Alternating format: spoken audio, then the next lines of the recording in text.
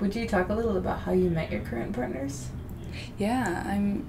Everyone I'm dating right now, I've met through dance, basically. Cool. So just had a really good dance with someone and ended up asking them out, or they asked me out, or something. Mm-hmm. Um, yeah.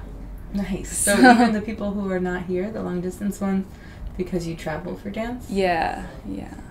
I traveled for dance. One of them, who's long distance, moved away from Seattle to go to school. Mm. Um, and so I see like on breaks and stuff. Mhm. Mhm. Um, and the other one I met in San Francisco while we were both traveling to San Francisco.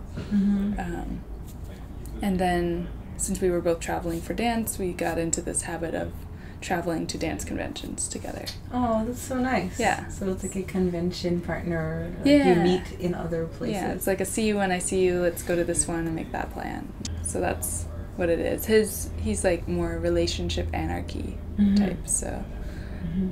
um, going into that kind of thing, knowing that is so much better. Yeah.